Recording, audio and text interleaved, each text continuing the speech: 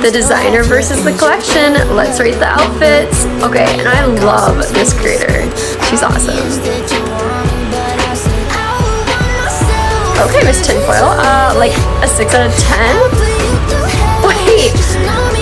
Another tinfoil. Wait, are all these.